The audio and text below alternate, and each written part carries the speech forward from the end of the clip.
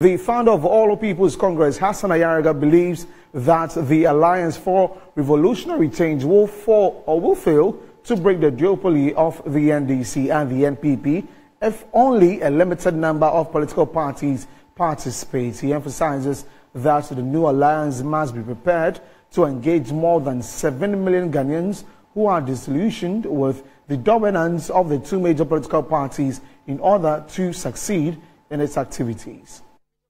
In a press release, Alan Kyerematen's Movement for Change and Dr. Abu Sakara Foster's National Interest Movement have declared the successful completion of negotiations with several political groups to establish a large coalition for the forthcoming 2024 elections. Dr. Bernard Tutu-Boahene, a political marketing expert, views the alliance formation as a significant message to both the National Democratic Congress and the ruling New Patriotic Party. With regards to what they want to do, now you realize that um, they are also targeting other smaller parties, you know, to be part, you know, of the of the coalition, and that also tells you that you know the movement is trying to gather, you know, and take advantage of all outlying, you know, political, you know, um,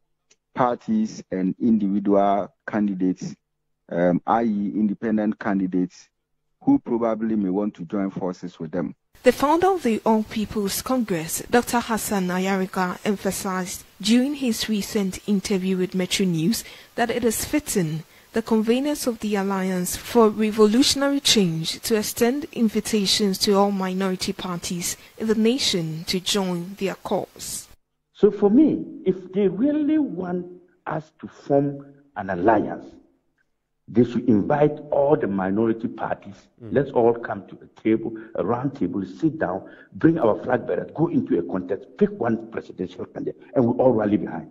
If two movements come together or three movements come together and form one movement, it's just few people who have moved from their various communities have come to join themselves and say they call themselves an alliance.